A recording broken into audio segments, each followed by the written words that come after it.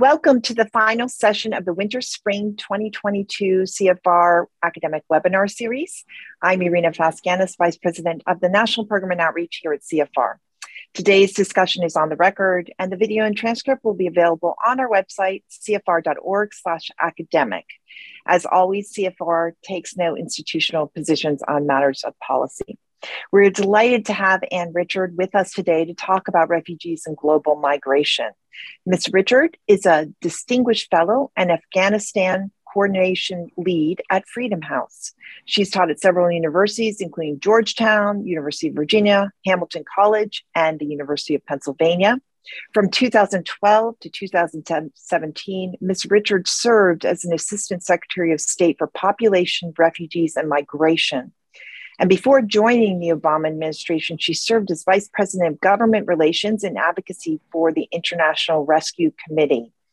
Uh, she's also worked at the Peace Corps headquarters and the U.S. Office of Management and Budget and is a member of CFR. So, and thank you very much for being with us today. Um, with your background and experience, um, it would be great if you could talk from your vantage point, uh, give us an overview of the current refugee trends you're we are seeing um, around the world, especially uh, vis-a-vis um, the war in Ukraine, um, the withdrawal from Afghanistan, et cetera.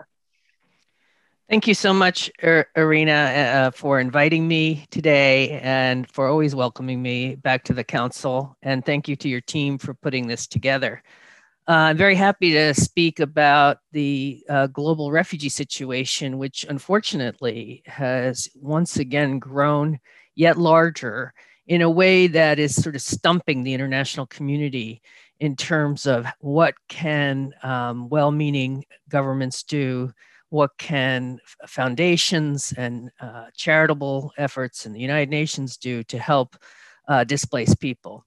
I thought we could start off talking a little bit about definitions and data and um, the idea is that I only speak about 10 minutes at this beginning part so that we can get to your questions all the more uh, quickly. Um, but for all of us to be on the same wavelength, let's recall that um, refugees uh, as a group have an organization that is supposed to look out for them, the UN High Commissioner for Refugees. It's the title of the number one person in the organization, but the entire organization is known by that that name, UNHCR or the UN Refugee Agency. Uh, it also has a convention, uh, the 1951 Refugee Convention, that came about after World War II and was very focused on not allowing to happen again what had happened uh, during World War II, where victims of um, the Nazis, uh, and as time went on, um, people fleeing fascism, people fleeing communism, uh, couldn't get out of their countries and uh, were persecuted because of this. And um, there's a legal definition that comes out of the convention that different countries have, and the US legal definition matches very much uh, the conventions, which is that uh, refugees have crossed an international border. They're not in their home country anymore. And once they've crossed that international border, the sense is that they are depending on the international community to help them. Uh, and that they're fleeing for specific purposes their race, their religion, their ethnicity, their membership in a particular social group, such as being LGBTQ um, or um, uh, political thought. And if you think back to the Cold War, these were some of the refugees coming out of uh, the former Soviet Union, coming out of Eastern Europe, were people who um, had spoken out and were in trouble, and so had to flee their their home countries. So, what are the numbers then? And I'm going to refer you to uh, a very useful page on the UN High Commissioner for Refugees um, website, which is their figures at a glance uh, uh, presentation. And we're going to reference some of the numbers that are up there now, but those numbers change every year. They change on June 20th, which is World Refugee Day. And so every year it hits the headlines that uh, the numbers have gone up, unfortunately. Um, and you can anticipate this if you think in terms of the summer solstice, the longest day of the year. It's usually June 20, 21, 22. So June 20th that first possible day is um, every year World Refugee Day. So if you're working on behalf of refugees, it's good sometimes to schedule events or um, anticipate um, newspaper articles and and and um, uh, conversations about refugees uh, ticking up in uh, at the end of June. So if you if you were paying attention last June for World Refugee Day, UNHCR would have unveiled um, a number of 82.4 million refugees around the world. Um, and so this upcoming June, what do we anticipate? Well, we anticipate the numbers will go up again. And in fact, yesterday, um, the High Commissioner was in Washington, met with Secretary of State, Tony Blinken, and they met the press. And Filippo Grandi, the current High Commissioner, said that he thinks the number is closer to 95 to 96 million refugees. So clearly, a couple things have happened since last June. One is that so many people are trying to flee Afghanistan, and another is so many people have fled Ukraine. So if we went back to that $82.4 million figure that we know we have details on, we would find that this is the figure of people who are displaced because of conflict or persecution around the world. The ones that count as refugees who've actually crossed an international border is a smaller number. It's 20.7 million people that UNHCR is concerned about. And then another close to 6 million people who are uh, Palestinians in the Middle East, whose displacement goes back to 1948, um, the creation of the State of Israel, and um, uh, upheaval in, in, in the Middle East region as, as uh, Palestinians um, were, were shifted uh, to live elsewhere.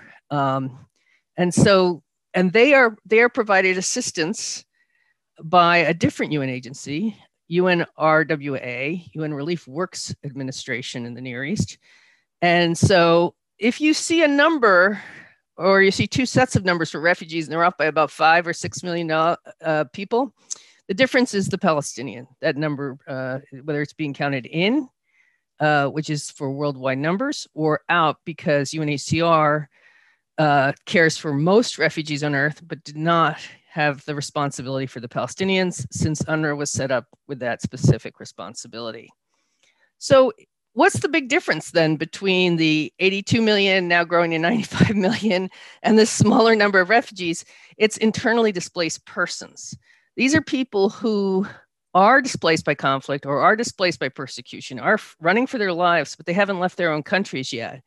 So think of Syrians who perhaps are displaced by war and they have crossed their own countries and gone to a safer place within their own country, but they haven't crossed that border yet. Others who've crossed into Lebanon or Turkey or Jordan or uh, Iraq or gone further afield to Egypt, those would be considered refugees. Um, who's responsible for the IDPs then? Well, legally, their own countries are supposed to take care of them. But in my Syria example, the problem is Syria was bombing its own people in certain areas of the country. And so they were not protecting their own people as they should be. People can be displaced by things other than war and um, conflict and persecution, of course. More and more we talk about climate displacement and this is a hot issue that we can talk about later.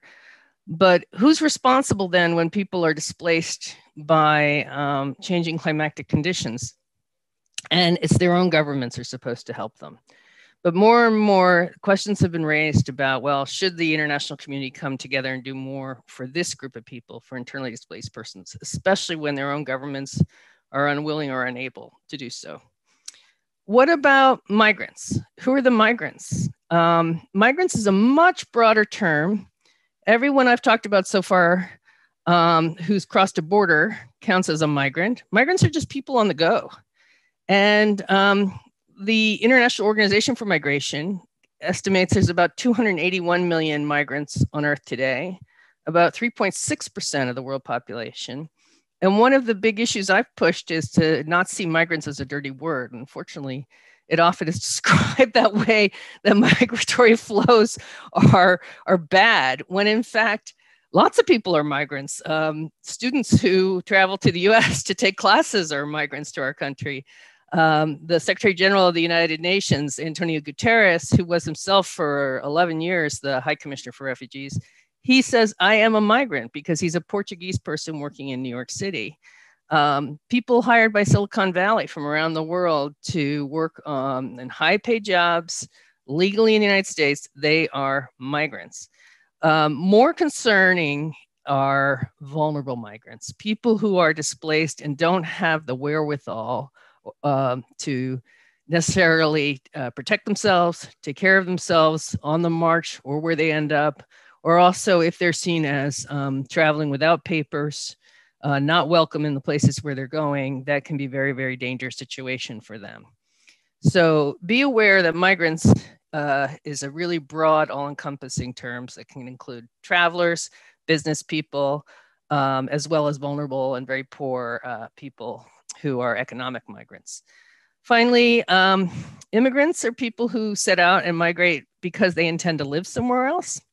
And um, when we were talking about the um, Trump administration's policies to reduce the number of refugees coming to the US, we also see that immigration to the US also was decreased during that uh, administration as well. So both the refugee program and a lot of the immigration pathways to the US are now being examined and um, trying to be not just fixed, because a lot of them have ne- needed care for quite some time, but also put back on um, a growth trajectory. And then asylum seekers are people who get to a country on their own. Either they have traveled to a border or they pop up inside a country because they have gotten in legally through some other means, such as a, a visitor visa or business visa. And then they say, I can't go home again. It's too dangerous for me to go home again. Please, may I have asylum? May I be allowed to stay here um, and be protected uh, in your country? So that's a lot of different terminology, but the more you work on it, the the more these um, uh, ter terms uh, you get more familiar using them and understand the differences between them that experts or legal experts um, uh, use. So 95 to 96 million people, uh, as we see another um, 11 million people fleeing Ukraine. And of that, four uh, million at least have crossed the borders into neighboring countries, and another 7 million are internally displaced, still inside Ukraine, but they've gone someplace that they feel is safer than where they were before. When we looked at the 80 million uh, refugees and displaced people, we knew that two thirds of that number came from just five countries. And one of the important points about that is it shows you what could happen, the good that could be done if we were able to push through peace uh, negotiations or resolutions of conflict and persecution. If we could just convince good governance uh, and protection of people in uh, minorities, people with different political thought, different religious backgrounds inside countries. So the number one country still remains Syria, that has lost 6.7 million people to neighboring countries primarily. Uh, secondly was Venezuela, 4 million. Third was Afghanistan. The old number from before last August was 2.6 million. And some hundreds of thousands have fled since. And the only reason there are more fleeing uh, is that they have a really hard time getting out of their country. And we can talk more about that in a moment. Um, the fourth are Rohingya refugees fleeing from Burma or Myanmar. That's 1.1 million. And the fifth was Southern Sudanese, 2.2 million, who have fled unrest and um, violence in that country. Um, so we we know that we have not enough peace, not enough solutions. We have too much poverty too, um, and dangers. The um, in addition to the Venezuelans, another group that has approached the U.S. from the southern border, uh, that were in the paper, especially around election times, is from the northern triangle of Central America. So El Salvador, Guatemala, and Honduras. These are people who could be fleeing because of economic um, uh, situations and um, could also uh, be um, fleeing from criminal violence, gangs, uh, warfare, uh, narco traffickers. And so, if they are fleeing for their lives and approaching our southern border, we are supposed to give them a hearing and consider whether they have a case for asylum. And um, the uh, uh, unfortunately, that is not well understood, especially not by folks working at our borders.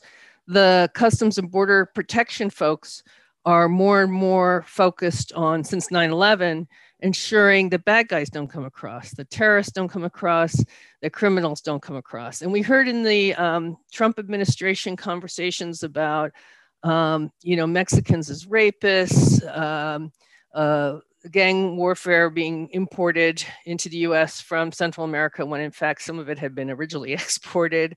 Um, and, uh, you know, the sense that people from the Middle East were terrorists. And so a really um, harsh language about the types of people who were trying to make it to the US and to get in. Um, some final thoughts. Um, uh, so that we can get to the question and answer. The US government has traditionally been the top donor to refugee and humanitarian efforts around the world. Um, the Bureau at the State Department, I used to run the Population, Refugees, and Migration Bureau, was a major donor to the UN High Commissioner for Refugees, UNRWA, um, the International Committee of the Red Cross, and also um, the International Organization for Migration, which used to be an independent organization, is now part of the UN since 2016. Um, we were also the number one resettlement location. The, the formal program for bringing refugees to the United States. Um, and when I was assistant secretary, we brought 70,000 refugees per year to the United States, invited them to come through a program that took 18 months to, 20, to 24 months on average to get them in because they had to be vetted for security reasons. They had to pass medical tests. Their backgrounds had to be investigated that see that they were who they said they were. And um, that number went higher in the last year of the Obama administration to 85,000 refugees. And in fact, the Obama administration proposed some very strong additional measures to help refugees. But the Trump administration threw that all into reverse with a completely different set of policies. So the numbers then became reduced every year 53,000 in the first year of the Trump administration, 22,500 the next year, 30,000 in 2019, 11,814 in 2020, a similar number in 2021, and slow numbers coming today. This despite bringing so many Afghans um, through an evacuation exercise um, last summer. Uh, many of the people who were evacuated were American citizens or green card holders. Uh, Afghans who had worked for the US but did not have their formal paperwork yet were brought in under what's called humanitarian parole. And the problem with that program is that it's no guarantee for a longer term stay in the United States. So there's a bill in Congress right now to, to address that. Um, a lot of the people who worked on that, especially within the US government, are proud that they scrambled and brought so many people so quickly 120,000 people brought from Afghanistan. At the same time, those of us who are advocates for refugees would say too many people were left behind and um, the evacuation should continue. And uh, that's a, a, real, a real concern. In terms of resettlement in the US, it's a program run in public-private partnership. And we've never seen so many volunteers and people helping as there are right now and initiatives to help uh, welcome people to the United States, which is fantastic. I would say the program should be one of humanity, efficiency, and generosity. And that generosity part has been tough to achieve because uh, the government piece of it is kind of stingy. It's kind of a tough love uh, welcome to the United States where, where the refugees are expected to get jobs um, and the kids to go to school and the families to s- support themselves. So let me let me start up there because I've been just talking too long, I know, um, and and take questions it's uh, fantastic, and thank you for really uh, clarifying the definitions and the numbers. Uh, just a quick question: You said the U.S. government is a top donor. What is the percentage of GDP? I mean, it's pretty tiny. Yeah, tiny, right? I think there's this this this uh, lack of understanding that it may seem like a big number, but in our overall budget, it's minuscule. So if yeah. you just it, it's a, it's it's grown um, in the last few years because of all these crises around the world to 10 to 12 million dollars. I mean, 10 to 12 billion dollars between the U.S. Agency for International Development and the State Department, um, which was bigger. It was around seven or eight billion when I was the assistant secretary five six years ago. Um, but it, the important part of it was it provided the whole backbone to the international humanitarian system. Governments, some of them saw Americans sometimes as headaches in terms of we Americans telling them what to do, or we Americans, you know, uh, having our own ideas on how to do things, or we Americans demanding always budget cuts and efficiencies. But the fact is, the whole humanitarian enterprise around the world is based on American generosity, especially the big operating agencies like World Food Program, UNHCR, UNICEF, UN Development Program. Great, thank you. So now we're going to go to all you for your questions. Hands are already up and Q&A written questions. So I'll, I'll try to get to everybody as much as I can. I'm going to go the first question from Rey Koslowski. And if you could unmute yourself and um, tell, give us your institution, that would be fantastic. Hi there. Can you hear me okay? Yes. All right. Rey Koslowski, uh, University at Albany. Hi, Anne. Uh, good to see you.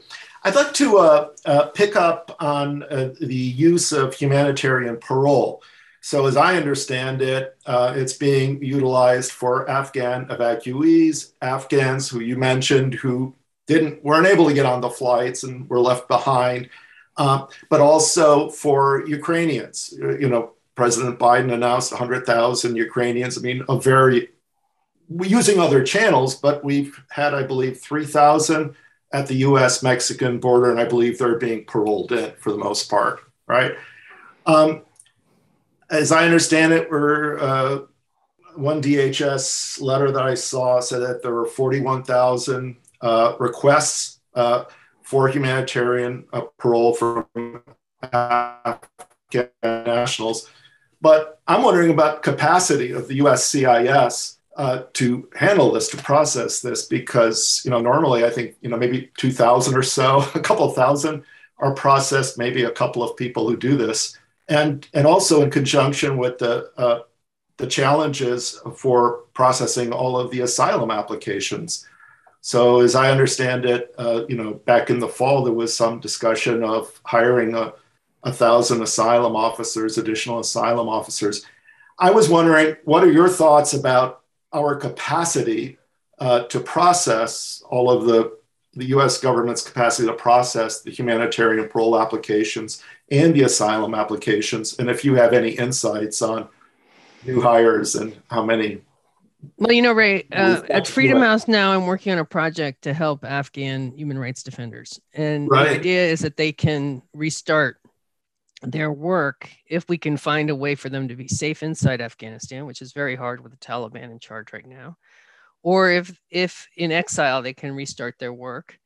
And so we're watching to see where Afghans are allowed to go in the world um, as they seek uh, sanctuary. And the answer is they don't get very far. It's very hard to get out of the country. If they get to Pakistan or Iran, they don't feel safe. Uh, they have short term visas to stay there.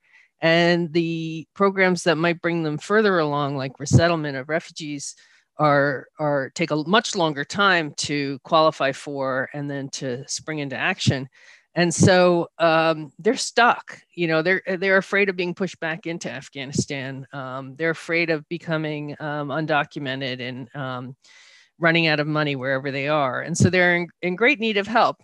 The humanitarian parole program sort of uh, for bringing afghans into the us sort of understood that our 18 to 24 month refugee resettlement program was a life saving program, but it wasn't an emergency program. It didn't work on an urgent basis. It didn't scoop people up and move them overnight. Um, and that's really what was called for last August was getting people, large numbers of people out of harm's way.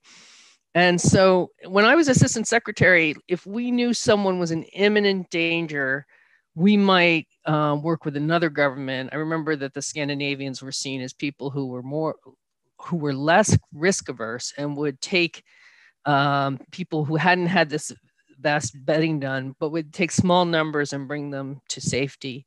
Whereas the US did things in very large numbers, but very slowly. And so this, this lack of an emergency program has really been what's held us back um, in providing the kind of assistance I think people were looking for uh, for the Afghans. I was surprised we even brought them into the United States. I thought after 9 11, we'd never see that kind of program of bringing people in um, with so little um, time spent on checking. But what they did was they they moved up them to the front of the line and check them very quickly while they were on the move. So it was safe to do, but it was unusual. And I think part of that was because the military, the US military was so supportive of it and US veterans were so supportive of it. And we had, for the first time in a while, both the right and the left of the political spectrum supporting this. So the problem with humanitarian patrol parole is uh, I remember being used, for example, for Haitians who had been injured in the Haitian earthquake and they needed specialized health care. Uh, let's say all their bones were crushed in their legs or something. They could be paroled into the US, get that health care that they needed, and then sent home again. Um, so we've not used it for large numbers of people coming in at once. So, what refugee advocates are seeking right now from Congress is the passage of the Afghan Adjustment Act, which would give people a more permanent um, uh, legal status. They would be treated as if they were had come through the refugee resettlement program and they get to stay. Um, so you're right that the numbers being granted humanitarian parole at one time is just not the normal way of doing things. You're also right that the um, uh, this is a lot of extra work on um, people who weren't anticipating it. Uh, and and more can continue with the hundred thousand uh, Ukrainians who the president has said we will take in and so uh, the the the thing is when we have these kind of challenges in the United States, one way to deal with it is to spend more money and do a better job. Um, and that seems to be an option for certain challenges we face, but not for all challenges we face. With with these more humanitarian things, we tend to have tried to do it on the cheap and to also use uh, charity and partner with charities and churches uh, more uh, than than if this were sort of a more uh, business oriented uh, program. So we need all the above. We need more government funding for the people who are working the borders and are welcoming people in or are reviewing their backgrounds. Uh, we need more uh, assistance from the public, from the private sector, from foundations, um, because the, the times demand it. Um, and it's very interesting to me to see uh, welcome.us, uh, welcome.us created um, uh, last year with three former US presidents, President Bush, President Clinton, President Obama, speaking up about it, saying, please support this, and people from across the political aisle supporting it. I wish that had it existed in 2015 when we were grappling with these issues at the time of um, candidate Trump. Um, so, so, so the needs are greater, absolutely, uh, but that doesn't mean we have to just suffer th- through and struggle through and have long ba- backups like we do right now. We could be trying to put more resources behind it. I'm going to take the next written question from Haley Manigold, who's an IR undergrad um, student at University of North Florida. Uh, we know that the war in Ukraine is going to affect grain and food supplies. Uh, for the MENA countries? Is there any way you would recommend for Europe and other neighboring regions to manage the refugee flows? The first part of that was about the food issue, but then you said correct, and then this is a pivot to um, manage the refugee flows. So, um, well, Europeans are are treating Ukrainians unlike any other flow of people that we've seen lately. Um, it goes a little bit back and reminiscent to um, people fleeing the Balkans uh, during the 1990s. Uh, but we saw that with a million people in 2015 walking into Europe from Syria, Pakistan, Afghanistan, mix of economic migrants and real refugees, um, that Europe at first, under Angela Merkel's leadership, were welcoming to these folks showing up. And then um, there was a backlash, and the walls came up on that route uh, from the Balkans to Germany and, and to Sweden. And so, um, in the last few years, Europeans have not been seen as champions in allowing rescuing people who are trying to get to Europe on their own. You know, especially the Mediterranean has been a pretty um, um, dismal place where we see uh, Africans from sub Saharan Africa working their way up to North Africa and trying to get from Libya across the Mediterranean to Europe. These are mostly economic migrants, but not solely economic migrants, and they deserve to have a hearing. And instead, they've been terribly mistreated. They um, they get stopped by the Libyan Coast Guard. The Europeans push boats back, and they are offloaded back into Libya, and they're practically imprisoned and mistreated in North Africa. So that's a that's a terribly inhumane way to treat people who are trying to rescue themselves, their families, and find a better life.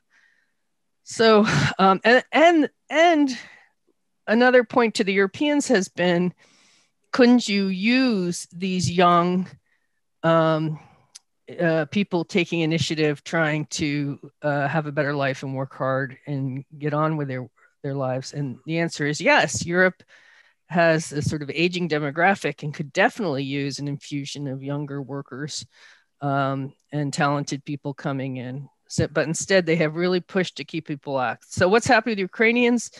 They're seen as a different category. They're seen as neighbors. Um, there's a part of it that is positive, which is a sense that the countries right next door have to help them. Poland uh, Moldova, other countries are, are taking in the Ukrainians. The borders are open. If they get to Poland, they can get a free train fare to Germany. Germany will take them in. And that's a beautiful thing. And the upsetting thing is the sense that that there is an undertones of racism, also anti-Islam, uh, where darker skinned people were not at all welcome, and people who were not Christian were not welcome. And so it's probably a mix of all the above, the, the good and the bad. Um, and it's it's potentially an opportunity to teach more people about refugeehood and why we care and why it affects all of us and what we should do about it and that we should do more. Thank you. All right, I'm going to take the next question from uh, Kazi Sazid, who has also raised their hand. So if you could just, um, I, ask your question yourself and identify yourself. Uh, hello, so I'm Kazi. I'm a student at CUNY Hunter College, and I happen to be writing a research paper on Central American and Iraq War refugee crisis and how international law hasn't changed the behavior of a state helping them. So my question is, how does confusion and ignorance of migration and refugee terminology by state leaders and the general populace impact the legally ordained rights of refugees, such as having ide- uh, identity documents, having the right to education, refoulement, which is not being sent back to a country where they are in danger. Uh, one example is like Central Americans are termed as illegal immigrants by the right wing, but the reality is they are asylum seekers who are worthy of refugee status because gang violence and corruption has destabilized their country and the judicial systems. I think femicide in uh, El Salvador and Honduras is among the highest. And so, yeah. Yeah, thank you for asking that question. And I have a soft spot in my heart for Hunter College. Only one of my uh, grandparents went to college, and it was my mother's mother who went to Hunter College and graduated in the late 1920s. And as we know, it's right down the street from the uh, Harold Pratt House, the home of the Council of Foreign Relations. So um, I think a lot of what you, I agree with a lot of what you've said about, um, it, you know, for me, it's describing these people who offer so much potential as threats just because they are trying to help themselves. And instead of feeling uh, uh, that, that we should support these folks, uh, there's a sense of um, even if we don't allow them in our country, we could still do things to ease their way and help them find uh, better solutions. Um, but they're described as you know these waves of people coming this way headed this way scary scary and if you if you follow the debates uh, in the united states i was very alarmed uh, uh, before and during the Trump administration that journalists did not establish that they had a right to make an, a claim for asylum at the border. Instead, they talked about it as if it were two political policies duking it out, uh, where some people felt we should take more and some people felt we should take less. Well, the issue that was missed, I felt, in a lot of the coverage of the southern border was the right to asylum, that they had a right to make a claim, that we had signed on to this as uh, the United States, and that we there was a very good reason we had signed on to that, and it was to make sure people fleeing for their lives get an opportunity to be saved. If they're innocent people and not criminals, but innocent people who are who are threatened, that we give them a, a place of safety. So I agree with you that the lack of understanding about these basic principles, agreements, conventions um, is, is, something that is not well understood by our society, and certainly what the society was not being informed of that um, by by um, you know a lot of the uh, messengers uh, describing the situation over the past few years. Uh, thank you. So I'm going to take the next question from Lindsay McCormick, who is an undergrad at um, Baruch. Oh, sorry, a graduate student at Baruch College. My apologies.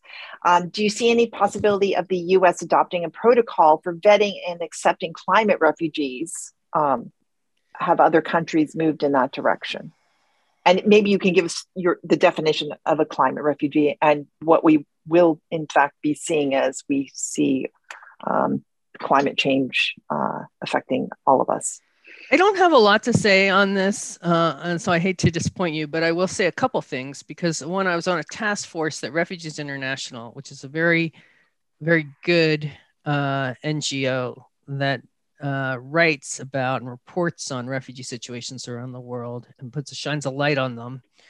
Uh, I was part of a task force that came out with a, a report for the Biden administration on the need to do more for climate migrants.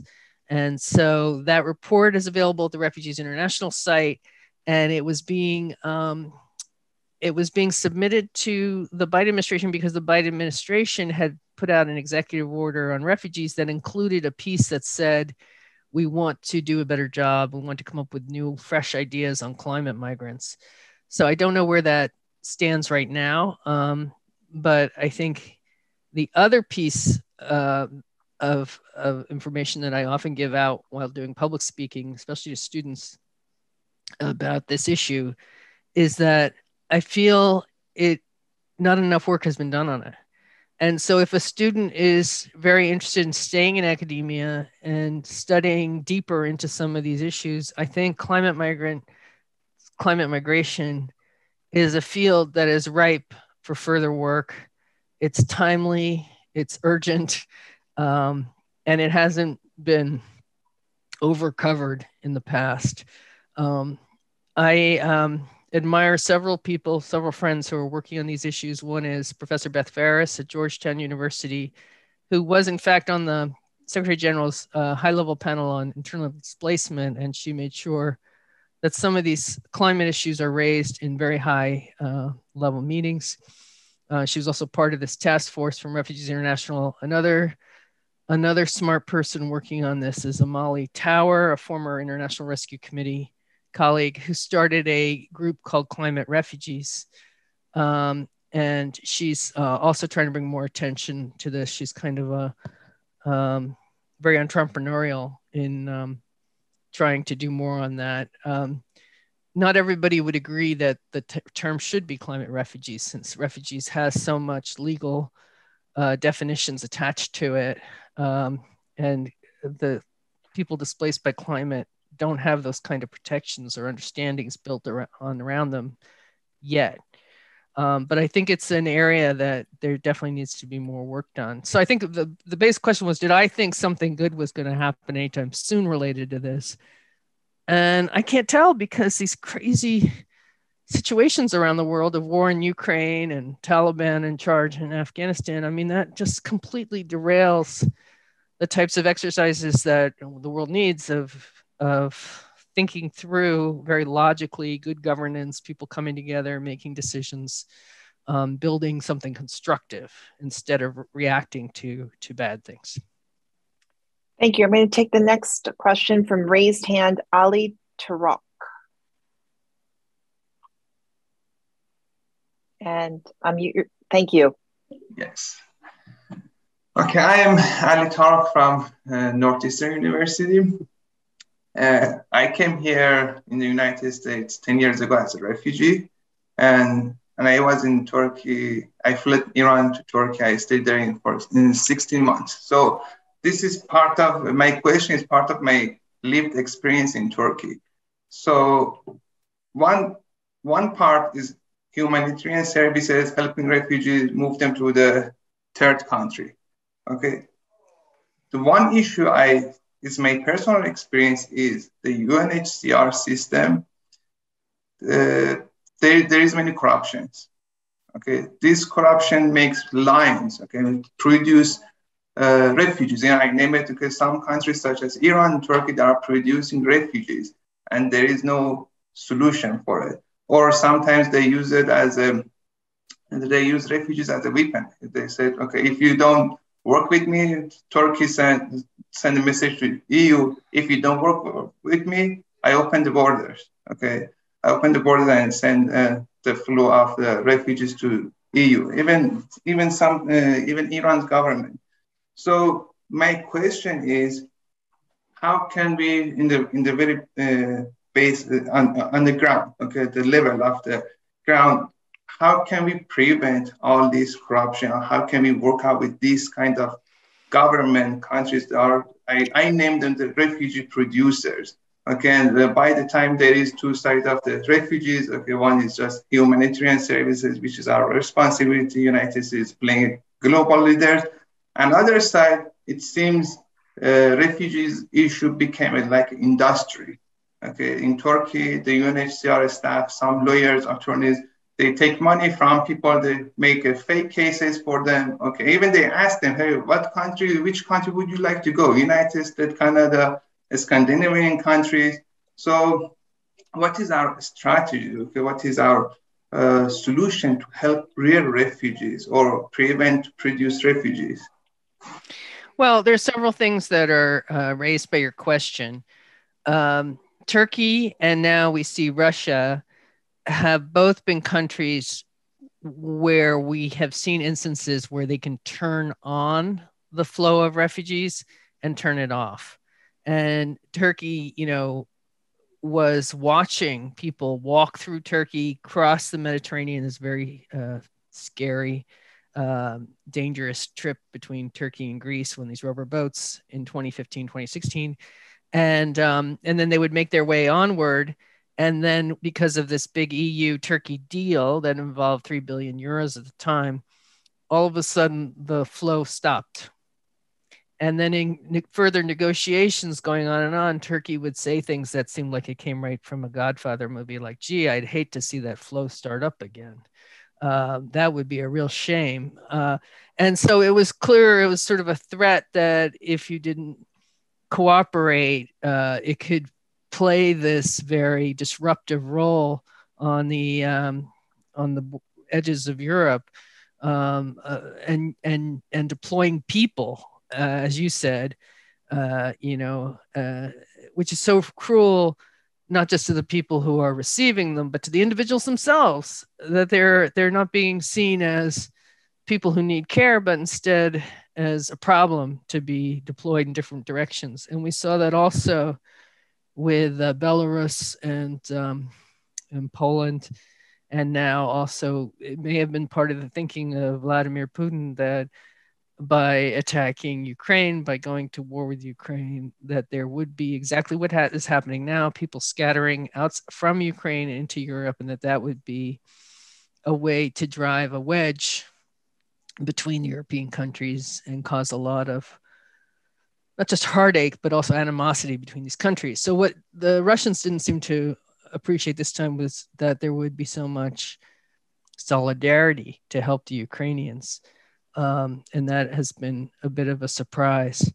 So you've also talked about corruption, though, and corruption is a problem all over the world for lots of different reasons, and and and business, and it's it's embedded in some societies um, in a way that sometimes people make um, cultural excuses for, but in reality, we know it doesn't have to be that way. Um, but it is very hard to uproot and uh, get rid of. So I find this uh, work, the anti-corruption work going on around the world, really interesting, and, and groups like Transparency International are just sort of fascinating as they try to, you know, really change the standards and the expectations from um, uh, the degree to which corruption is part of uh, societies around the world. So um, UNHCR has to take great care to not hire people who are going to shake down and victimize refugees. And it's not, is there's never a perfect um, situation, but I know that a lot of work is done to keep an eye on um, these kind of programs so that the aid goes to the people who need it and it's not um, uh, sidetracked uh, to go to uh, bad guys. And the way I've seen it is, for example, if I travel overseas and I go to some place where refugees are being resettled to the US, or they're being interviewed for that, or I go to UNHCR office, there'll be big signs up, you know, that'll say the resettlement program does not cost money. You know, if someone asks you for money, don't pay it. You know, report this. Um, and and from time to time, um, there are uh, many scandals, uh, but overall. Um, it's remarkable how much corruption is kept out of uh, some of these programs. But it, it's a never-ending fight. I believe I agree with you in your analysis that this is a problem, in, in, and in some countries more than others. Uh, so I'm going to take the next question from Pamela Waldron Moore, who's the chair of the political science department at Xavier University in New Orleans. Uh, there are reports in some news feeds that African refugees from Ukraine are being disallowed entry to some states accepting refugees. I think you did allude to this. Is there evidence of this? And if so, uh, can the UN stop it or, you know, alleviate that situation? We saw before the Taliban took over in Afghanistan that some European countries were saying it was time for Afghans to go home again and the idea that during this war it was safe for Afghans to go back, and especially for Afghans who are uh, discriminated against even in the best of times in Afghanistan, like the Hazara minority. Uh, it's just uh, I found that sort of unbelievable that some countries thought this was the right time to send people back to Afghanistan. Um, and so uh, at the moment, um, there's a weird situation in Afghanistan because it's safer in some ways for the bulk of the people because the active fighting has in large parts of the country stopped but it's deadly dangerous for human rights defenders women leaders uh, lgbtq folks um, anyone who stands, tries to stand up to the um, to the taliban you know uh, scholars thinkers journalists uh, and so those are the folks that, um, in smaller numbers, we need to find some kind of way to rescue them and get them to safety, whether it's still inside Afghanistan or if that's outside Afghanistan in the region. The um, the borders the border situations change from time to time. You know, for a while they were saying only people with passports could come out, and for most Afghan families, nobody had a passport, or if they did, it was a head of household had a passport for business and trade. But you wouldn't have had passports for the uh, spouse and the children. And so this has been a real uh, uh, dilemma. We also see, you know, a whole series of barriers to people getting out. So first you need passport, then you need a visa to where you're going, uh, and then you might need a transit visa for a country that you're uh, crossing. And uh, what what what has come to pass is that people who are trying to help evacuate people from Afghanistan, a smaller and smaller number as the months go on, uh, people are trying to make this happen because it's so hard that they um, they will only take people uh, out of the country if they feel that their onward travel is already figured out and that they have their uh, visas for their final destination country. So the actual numbers getting out are tiny. Uh, and the people who have gotten out and are in either Pakistan or Iraq are very worried and they're afraid to be pushed back. They're afraid they'll run out of money. They're afraid. I think I said this during my my talk before. Um, they're afraid that um, there are people in Pakistan will turn them into the Taliban, and so um, it's it's it's always hard to be a refugee, but right now it's it's really frightening, frightening for people who are just trying to get to a safe place. And in terms of the discrimination that uh, that you referenced um, for refugees leaving Ukraine, um, I mean, there have been some reports of, you know, discrimination oh. in European countries not accepting. Um, well, like African students who were studying in Ukraine who yes. were not treated as if they were fleeing a country of war, but instead were put in a different category and said, you know, go back, go home. Yes. Uh, yeah, that's that. That is quite blatant. And, and that was happening at the borders is there anything the UN can do about that, or is that really at the discretion of the? Well, the yeah, the UNHCR countries? has these reception centers that they've set up, uh, including uh, between the bo- the border of Poland and um, Ukraine, and I think the other neighboring countries. And so, if one can get to the reception center, one could potentially get uh, additional help or be, you know, screened in, into for special attention uh, for needing some help that maybe a uh, white Christian Ukrainian uh, who spoke more than one language of the region would, would not need.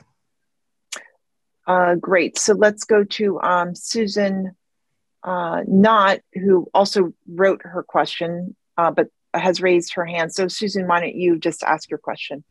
And please unmute and identify yourself. Okay, am I unmuted?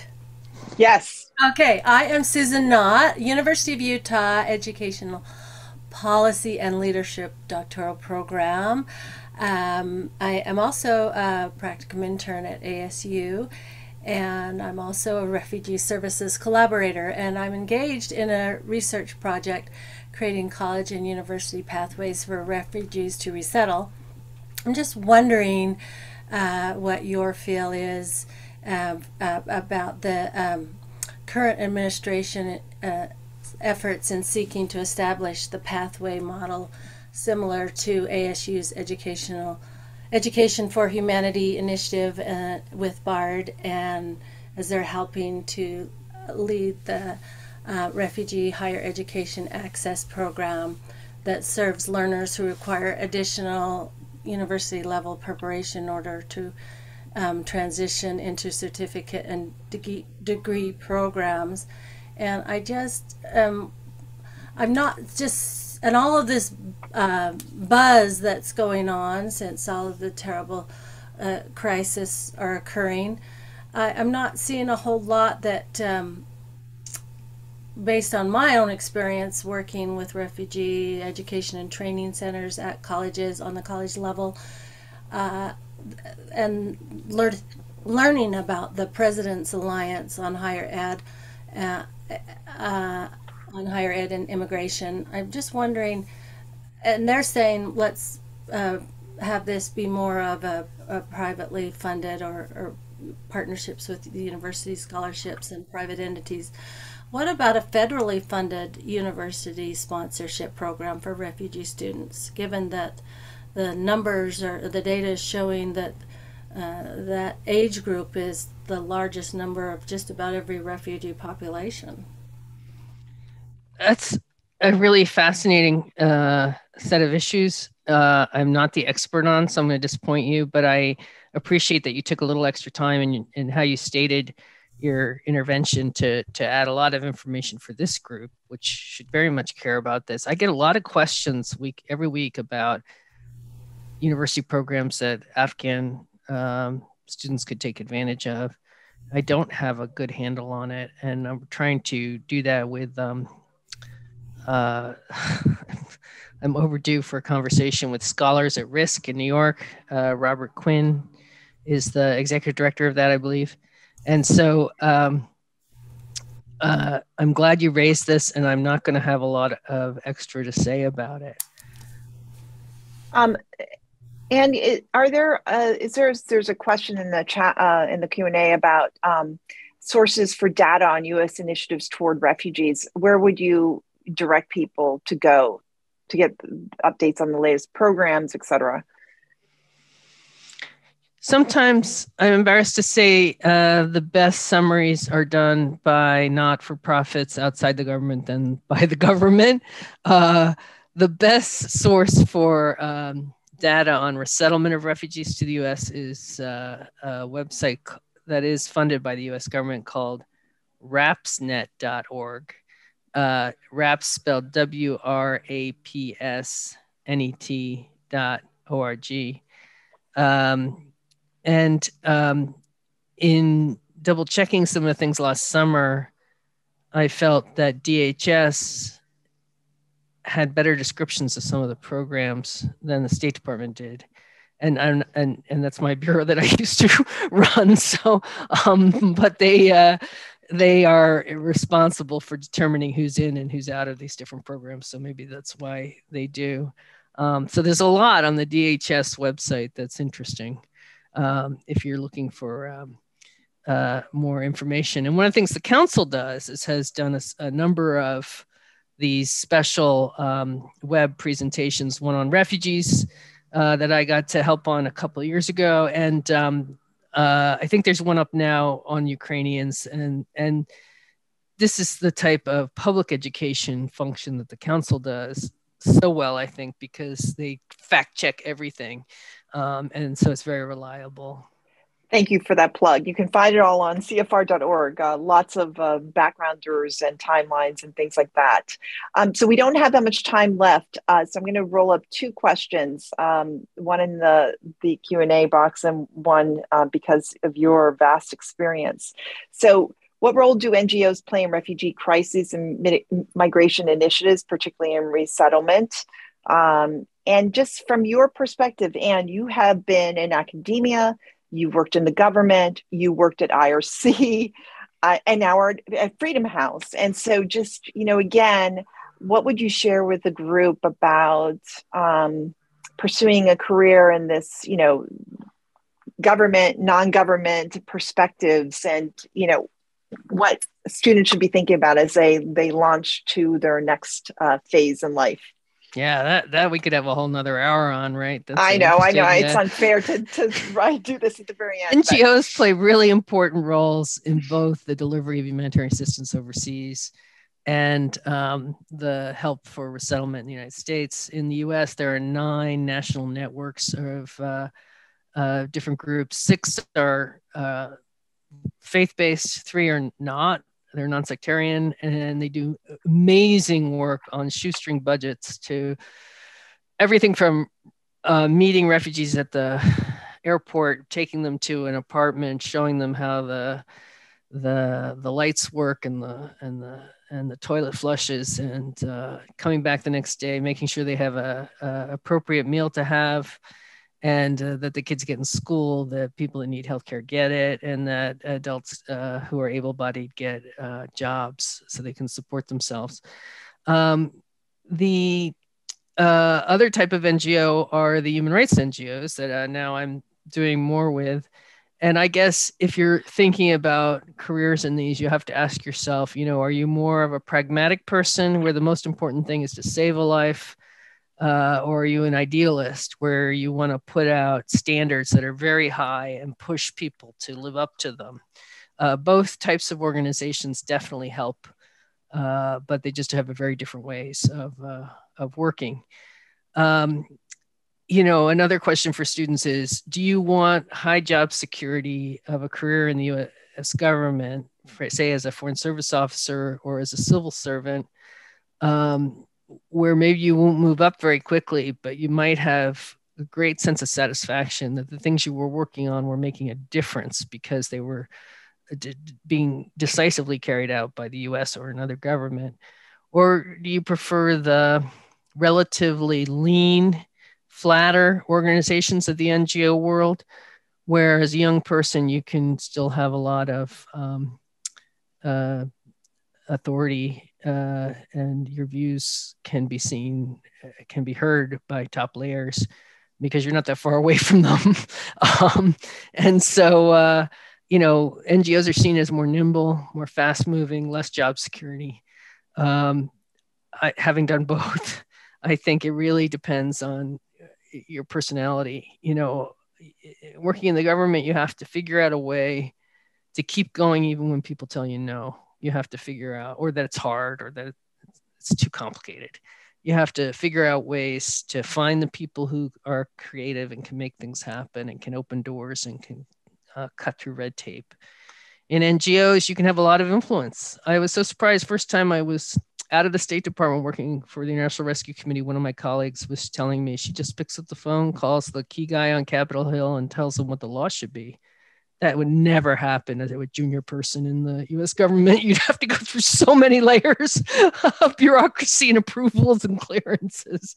Um, so, so it really it, depends on the type of person you are and, and how you like to work and the atmosphere in which you like to work.